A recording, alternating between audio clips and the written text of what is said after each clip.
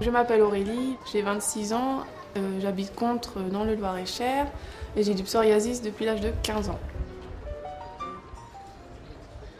J'ai déménagé aux Antilles, donc je suis partie en Guadeloupe. Et euh, ça a été un stress pour moi, donc euh, du coup, les quelques mois qui ont suivi l'emménagement là-bas, en allant chez le coiffeur, elle m'a dit que j'avais des espèces de petites plaques blanches qui se décollaient dès qu'elle passait le peigne en fait. Donc elle m'a dit que ça serait pas mal que je montre ça à un médecin quoi.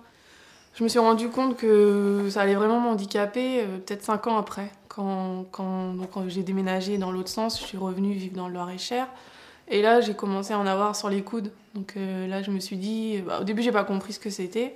Et en allant à nouveau voir un dermato, il m'a expliqué que c'était du psoriasis. J'ai eu peur en fait. Et, et je venais de me mettre en couple avec mon ami.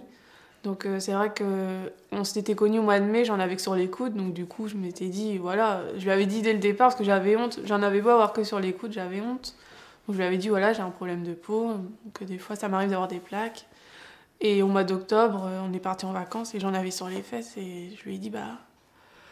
Je lui ai dit, bah écoute, je crois que je commence à en avoir un petit peu partout et du coup j'avais honte du fait que c'était une nouvelle relation et voilà, c'est pas évident.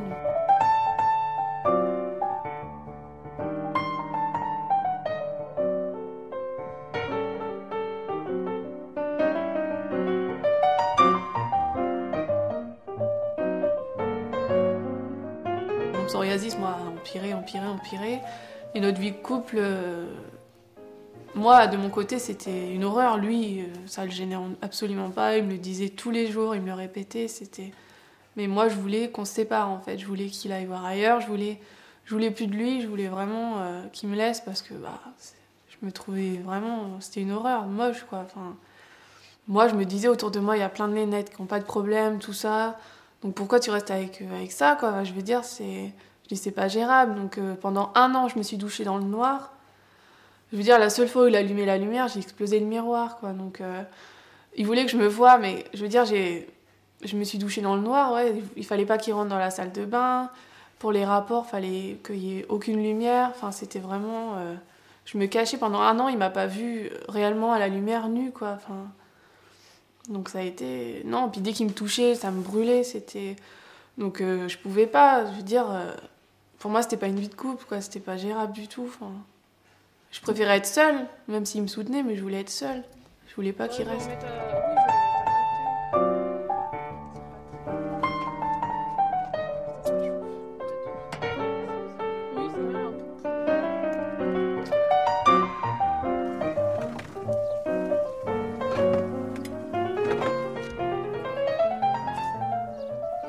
Je vois là pendant nos vacances au mois de juin, euh, euh, les premiers jours au soleil, elles sont ressorties mes plaques. Je pense que c'est l'effet un peu de la, comment dire, le fait de s'exposer.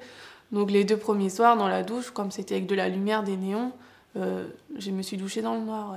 Et là, il s'est dit merde, c'est pas possible. Il dit tu régresses quoi.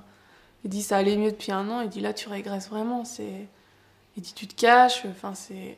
Après mon pso, une fois que la prolongation, enfin l'exposition au soleil s'est faite vraiment tous les jours, ça a été mieux. Mais euh, non, je me, je me regarde pas toujours, non. Et je sais pas si, j'y arriverai un jour. Ma famille m'a beaucoup aidée, euh, oui, tout au long de la maladie quand j'allais pas très bien. Par contre, ils n'arrivaient pas à mettre des mots euh, sur la maladie et des mots sur mon mal-être. En fait, ils savaient que j'étais mal, mais ils pensaient pas que c'était à ce point. Et c'est quand vraiment mon médecin a voulu m'hospitaliser en fait pour dépression et risque bah, suicidaire, hein, je vais mettre les mots, qu'ils ont que ma mère, je lui ai dit ça que quelques mois après, je pense qu'elle a, qu'elle a compris réellement le mal-être, mais elle pensait pas que c'était à ce point. Elle m'a dit, je m'en doutais, mais elle m'a dit, c'est de t'avoir entendu parler du mot euh, passer à l'acte, qu'elle a, elle a pris conscience euh, que j'aurais pu vraiment euh, partir. Donc là, en fait, c'est un blog que j'ai créé il y a pas loin de 4 ans, sur lequel je me suis pas mal défoulée quand j'avais la maladie. Donc du coup, j'ai écrit beaucoup d'articles quand j'allais pas très bien. Donc je vais vous en lire un petit peu. Mon psoriasis me bouffe la vie, le moral, et même si j'ai beaucoup d'éléments autour de moi qui font que je devrais aller bien, comme par exemple Thierry, mes amis, mon école, mes stages, ma famille, c'est mon psoriasis qui occupe mon esprit à 100%, le reste n'arrive pas à prendre autant d'importance. Je ne vis que par ça, qu'à travers ça, si je devais tout changer pour pouvoir guérir, je le ferais sans hésiter. Trop souvent, j'ai des idées de suicide et j'en ai peur car je sais que le jour où je, n'aurai plus la force de me raccrocher à quelque chose comme je le fais depuis tout ce temps, alors plus rien ne me retiendra. Je ne veux pas mourir, la mort me fait peur, mais j'ai tellement mal, je souffre tellement, je ne vis que par cette horreur. Je suis jalouse de ces filles qui sont belles et n'ont rien, je suis malheureuse. Voilà.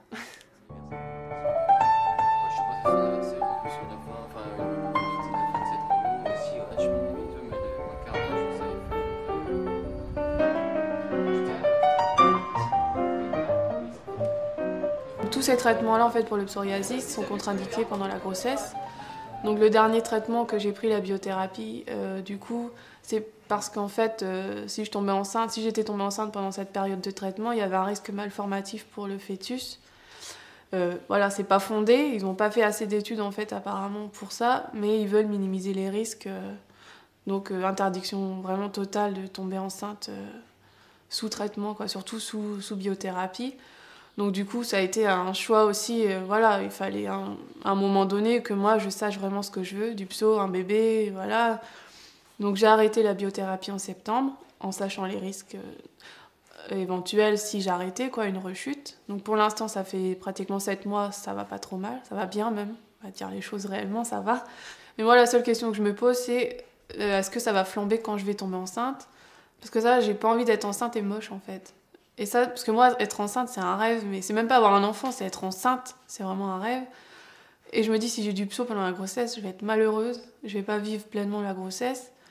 Donc voilà, si ça flambe à la naissance, il n'y a pas de problème, parce que mon dermato m'a dit qu'une fois qu'il sera né, on recommencera la biothérapie. Mais pendant la grossesse, c'est pas possible, donc c'est ça qui me fait peur, c'est tout.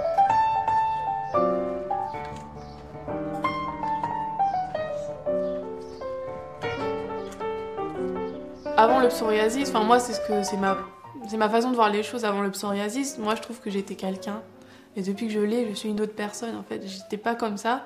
Je, suis devenue enfin voilà, une personne euh, j'ai perdu beaucoup de choses en fait, beaucoup de confiance, tout ça. Donc même si le psoriasis, même sous biothérapie, euh, je veux dire, même si j'avais plus rien, il était quand même là, présent. Parce qu'il a fait quelque chose de moi que, que j'étais pas du tout pendant, pendant 15 ans, j'étais pas cette personne-là.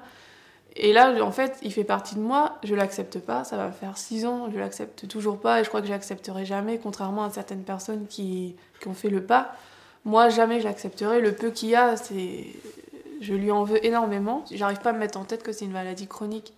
Donc à partir de là, pour moi, c'est une maladie qui est là euh, parce que je vais, je vais pas. Enfin, je pense qu'au fond de moi, ça va pas puisqu'elle est encore là. Donc du coup, tant qu'elle sera là, ça ira pas, et tant que ça ira pas, elle sera là. Donc euh, je veux dire, toutes les deux, on n'est pas copines, on ne sera jamais. Donc voilà, elle partira sans doute un jour. Peut-être quand j'aurai un enfant, je serai posée, j'aurai un autre truc sur lequel me. Enfin, un autre truc. J'aurai un. Je veux dire, mon enfant, quand j'aurai mon enfant, je serai absorbée par lui, donc j'aurai autre chose à penser que ma petite personne et ma peau. Moi, j'ai honte, vraiment d'avoir des, des tâches, quoi. C'est. Voilà, pour moi, c'est pas mon corps, et non. Non.